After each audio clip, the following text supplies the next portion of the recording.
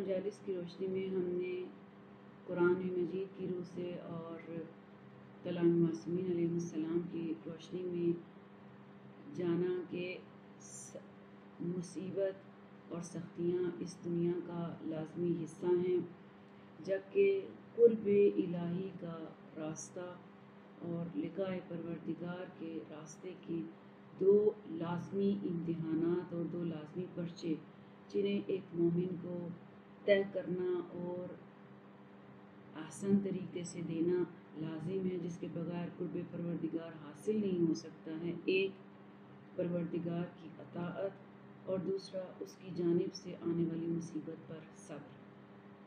ये दो ऐसे लाजमी पर्चे हैं कि जो कोई भी कुर्ब खुदा के मसीर को तय करना चाहता है, उन्हें इन दो इम्तहानात या इन दो मरहलों से गुजरना लाजिम है। जबकि अगर इंसान मुश्किल में सब्र ना करे तो मुश्किल मुश्किल और मसाइब का एक बड़ा हिस्सा वो है जो इंसान अपने, खुद से उन्हें बरतरफ नहीं कर सकता है। मुश्किल और मसाइब में दो ही रास्ते हैं, या सब्र करे या जजा फजा।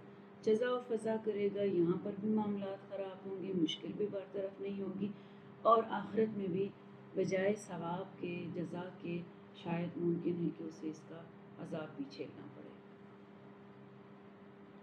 जबकि सब्र एक कामयाबी और निजात है। इंसान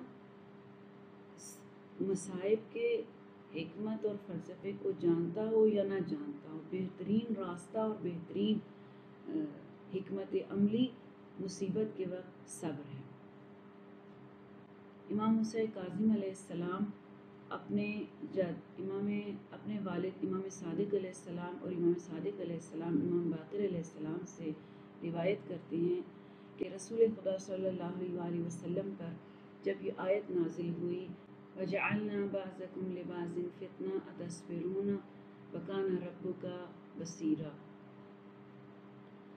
खुदा ने तुम में से बाज़ को बाज़ दूसरे के लिए, बाज़ दूसरों के लिए बायस इम्तहान और आजमाइश क्या तुम सब्र करोगे, जबकि तुम्हारा खुदा पहले ही से ही जानता था जब ये आयत रसूल खुदा सल्लल्लाहु अलैहि वसल्लम पर नाजिल हुई तो आपने अपने अहल बैत जनाब सैदा फ़ातिमा ज़हरा जनाब अमीरमिन और हसन और हुसैन को अपने करीब हुजरे में बुलाया और हजरे का दरवाज़ा बंद कर लिया और फरमाया कि इस वक्त हमारे साथ और कोई नहीं है और जब्राइल ये पैगाम और जब्राइल ये पैगाम लेकर आए कि अल्लाह ताला फरमाता है, इन, खुदा फरमाता है, इन्नी कद जअलतुकुम अदुफ़ुकुम लकुम फितना कि मैंने तुम्हारे दुश्मन को तुम्हारे लिए बायस इम्तहान और इब्तला करार दिया है। क्या आप इस इम्तहान को कबूल करते हैं?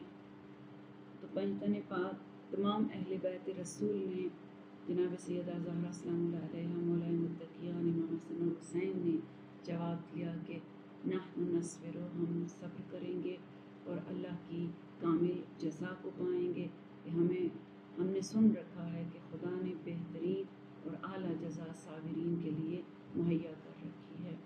जब रसूल खुदा सल्लल्लाहु अलैहि वसल्लम के अहल बैत ने इस इख्तियारी इम्तहान को कबूल कर लिया, जनाब रसूल खुदा इतनी बुलंद आवाज़ में रोए कि आपके रोने की आवाज़ को घर से बाहर सुना गया। इम्तिहान में ये अलिया खुदा का इख्तियारी इम्तहान है। अगरचे सुन्नत परवरदिगार है कि वह अपने अलिया से इम्तहान लेता है, तमाम गुजशत अम्बिया को आजमाया, इब्तलाओं में मुबतला किया। जनाब इब्राहीम सलाम को इब्तला और आजमाइश से गुजारा। बहरहाल, मुसीबत और इब्तला की हमत पहले मरहले पर मोमिन के लिए उनके गुनाहों का कफ़ारा, दूसरे मरहले पर दर्जात और अलिया खुदा के तरफ़ी दर्जात दर्जात और मंजिलत की बुलंदी का बायस है। उनके कोई गुनाह नहीं होते अलिया खुदा के, जिनकी वजह से खुदा उन्हें मुबतला करता है, बल्कि उन्हें आला दर्जात से नवाजने के लिए, आला मकाम देने के लिए उन्हें मुबतला करता है। ये अलिया खुदा का, ये अहल बैत रसूल का एक इख्तियारी इम्तहान था, जिन्हों, जिन्हें उन्होंने कबूल किया। मुसीबत की इब्तदा में जो सबसे बड़ा जो पहले पहला मसला है किसी भी मुसीबत और मुश्किल का कि मुमकिन है किसी मुसीबत के नाजिल होने में ख़ुद इंसान बायस बना हो जैसे कि उसके अपने गुनाहों की वजह से वो मुद, मुद, जैसे कि कोई अपने गुनाहों की वजह से अपने अमाल की वजह से किसी मुश्किल या सख्ती में गिरफ़्तार हुआ हो या वो मौसर और दखील ना भी हो यानी खुदा की जानब से उस पर मुसीबत आई हो बहरहाल मुसीबत की इब्तदा। हो सकता है उसमें इंसान मौसर हो उसके, उस मुसीबत के आने या शुरू होने में। लेकिन मुसीबत की इंतहा और अख्ताम परवरदिगार के हाथ में है। ये मुसीबत कब ख़त्म होगी, कैसे ख़त्म होगी, ये कोई भी इंसान नहीं बता सकता है, ये खुदा के हाथ में है। लिहाजा जब भी किसी पर मुश्किल आती है तो सबसे पहला मरहला दो तरह की मुश्किल इंसान को उनसे दो चार दो तरह की रवैये इंसान को बर्दाश्त करना पड़ते हैं मुश्किल और मुसीबत में। एक दाखिली एहसास है और एक खारजी। बाहर से लोगों के ताने और तनजामेज़ गुफ्तु ज़ख्म ज़ुबान का सामना करना पड़ता है कि खुदा ने इनसे मुँह मोड़ लिया है, खुदा इनसे नाराज़ हो गया है, खुदा की पकड़ में आ गए हैं। जबकि दाखिली तौर पर शैतान वसवसा करता है कि कब ये मुश्किल ख़त्म होगी? आखिर ऐसा कौन सा मैंने काम कर दिया है? खुदा ने मुझसे, खुदा खुदा की रहमत से मायूस हो जाता है इंसान और बाज़ात कुफरामेज़ अल्फाज बोल देता है। इन तमाम मुश्किल के लिए खुदा ने कुरान मजीद में अपने हबीब के लिए फरमाता है, फसबिर इन हक।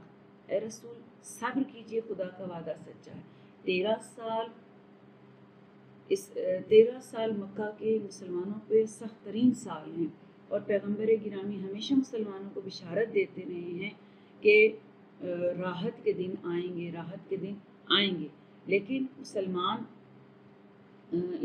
मुसलमानों को सब्र की तलकीन करते रहे कि खुदा हमारे लिए आसानियाँ मुहैया करेगा। जब मुसलमान हिजरत करके मदीना आए एक तरफ़ से मुसलमान एक तरफ़ से कुफार के शर से उन्हें निजात मिली है, जबकि यहाँ पर कई तरह के और ताज़ा इम्तहान उनके मुंतज़र हैं, जिस पर मुसलमान ज़ुबान जिस पर मुसलमानों ने ज़ुबान एतराज़ भी खोलिया मुसलमानों को जिहाद का हुक्म मिला है, अपनी जितनी भी उनके पास पहले ही वो फ़कीर हैं, जो कुछ है, वो उस सारे को आपस में बांटें और बाहम बराबर भाइयों की तरह से रहें। इस सख्ती और मुश्किल ने मुसलमानों की ज़ुबान एतराज़ खोल दी है। बाज़ लोगों ने जसारत करते हुए कहा कि मुमकिन है कि हमें तो लगता है कि ये नबी ही नहीं है। बाज़ लोगों ने कहा, लगता है खुदा इनसे नाराज़ हो गया है। खुदा ने इनसे मुँह मोड़ लिया है। खुदा इन तमाम बातों के जवाब में पैगंबर को फरमाता है, फसबिर लो फसबिर लो में रब का हक। खुदा की खातिर सब्र कीजिए। अल्लाह का वादा सच्चा है। लेकिन इंसान मोमिन को इंसान को समझना चाहिए कि दुनिया दार इम्तिहान। एक तरह का इम्तिहान ख़त्म हुआ है, लेकिन उसके बाद भी इम्तहान दरपेश है। कौम मूसा पर कितना एहसान किया। खुदा ने कि हज़रत मूसा सलाम ने उस फिर के चुंगल से उन्हें निजात दी, जिसके चुंगल से निकलना इनके लिए मुमकिन नहीं था। और जब खुदा ने मुताल ने हज़रत मूसा को हुक्म दिया कि अपनी कौम को लेकर उस सरजमीन मुक़दस की तरफ़ सफ़र करें और उसमें दाखिल हों, जिसमें इनके लिए हुकूमत भी है और नेमात और बरक़ात इलाहियाँ हैं। जब वो वहाँ पर पहुँचे तो कहा, इन्ना कौम जब्बारीना इसमें जाबिरों की एक कौम रहती है, जिनके साथ कौम बनी इसराइल को हुक्म मिला था कि वो जिहाद करें कताल करें, लेकिन कौम मूसा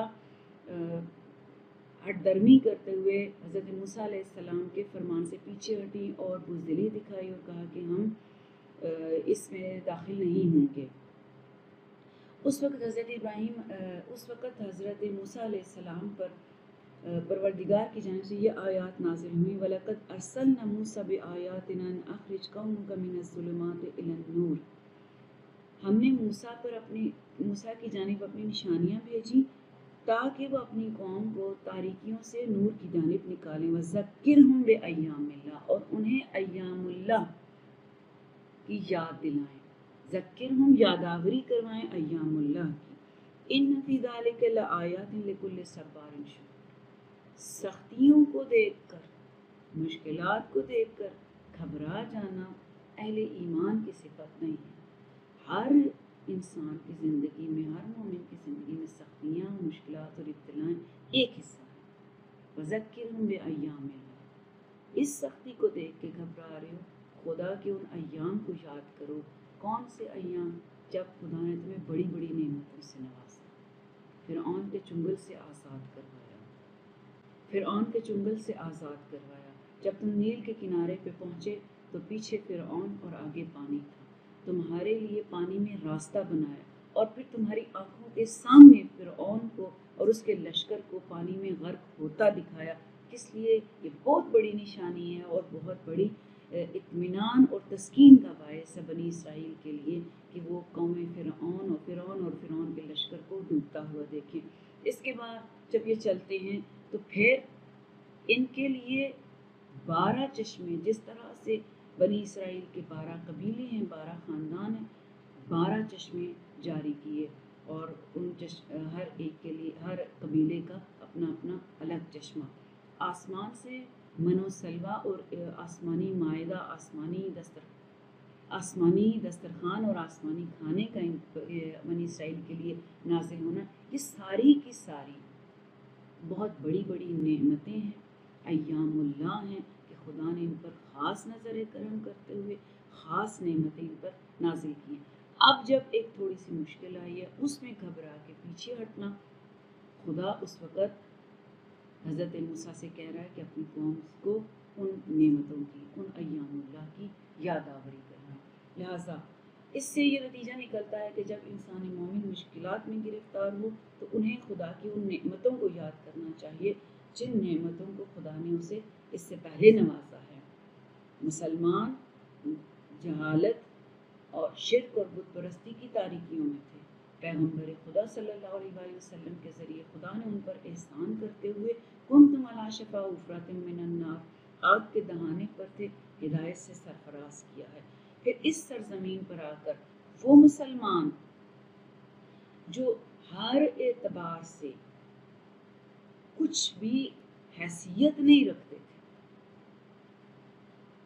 जनाब सैद खुद बाई फदक में फरमाती हैं, तुम्हारी औकात क्या थी? जो हड़ों का पानी पीना। यानी माशरती एतबार से बेनाम निशान लोग थे, कोई हैसियत नहीं थी, कोई हुकूमत नहीं थी, कोई ममलिकत नहीं थी।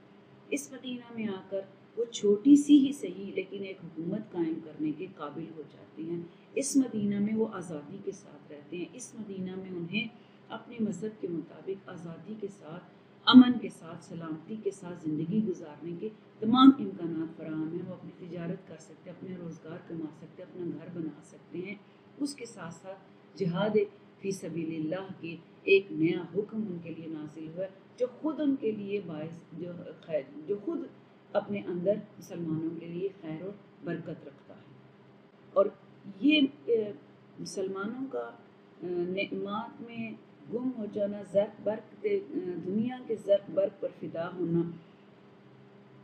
रसूल खुदा सल्लल्लाहु अलैहि वसल्लम की रहलत के बाद जिस फितने ने मुसलमानों को सबसे ज़्यादा नुकसान पहुँचाया, वो यही जर्क बर्क जर्क बर्क दुनिया में खो जाना दुनिया की रंगीनियाँ और दुनिया की जीनतों ने मुसलमानों को ईमान के तकाज़ों से दूर कर जब कैदियों का काफिला कोफा में इब्न ज़ियाद के दरबार में पहुँचा। तो इब्न ज़ियाद कैदियों को जब दाखिल किया गया, उस नागुफ्ता बेसूरत में कि जब उनके हाथ जंजीरों में बंधे हुए प्यास, भूख की शिद्दत, अपनों के गम के गमों के सताए हुए, रास्ते की शिद्दत, रास्ते की तकालीफ अलग कैदियों के चेहरों पे तहरीर हैं वो सारे मसायब। इमाम हुसैन का सर मुबारक तश्त में यजीद इब्न ज़ियाद के तख्त के पास रखा है। नशे में मस्त इबन ज़ियाद ने एक मरतबा कहा, काश यहाँ कोई अली का शिया होता तो मैं उसे अपने ये फतह का मंज़र दिखाता और वो इस तरह तड़पता जैसे बिन पानी के मछली तड़पती। दरबारियों में से किसी ने कहा, तेरे कैद खाने में मुख्तार जो मौजूद है? कहा, लाओ मुख्तार को। मुख्तार को लाया गया, जंजीरों में जकड़ा हुआ। एक मरतबा इबन ज़ियाद ने कहा, मुख्तार, अगर इसी दरबार में तुझे, तेरे मौला हुसैन की ज़ियारत करवा दूँ तो कैसा लगेगा? मुख्तार ने दाएँ बाएँ देखा, लेकिन कुछ नज़र न आया। इबन ज़ियाद से कहा, ए इब्ने ज़ियाद, अगर मेरे मौला की जानब बुरी निगाह भी की तो अच्छा ना होगा। इब्ने ज़ियाद नशे में मस्त उसने उस दश्त से कपड़ा हटाया जिसमें सरे इमाम हुसैन रखा था। मुख्तार ने जब ये मंजर देखा तो जंजीरों में एक अंगड़ाई ली, करीब खड़े सिपाही से तलवार को छीना। करीब था कि दरबार में कत्ल गारत का माहौल गर्म हो जाए। एक आवाज़ आई, मुख्तार, जंग नहीं करना, जंग नहीं करना। मुख्तार आवाज़ देने वाले, पुकारने वाले को मुड़ कर देखना चाहते हैं। एक मरतबा फिर आवाज़ आई, मुख्तार, मुड़ के ना देखना। नबी की बेटियाँ दरबार में बेरिदा खड़ी हैं। मुख्तार था अब न ला सके गिर कर बेहोश हो गए। जब होश आई तो देखा, सर इमाम जैनुलाबिदीन की आगोश में है और मौला उसे करबला के वाकयात बता रहे हैं। मुख्तार तूने कुछ नहीं देखा तो बेहोश हो गया आज सैयद सच्चा किस किस गम की दास्तान सुनाए तुझे? अला लानतुल्लाहि अला व सयालम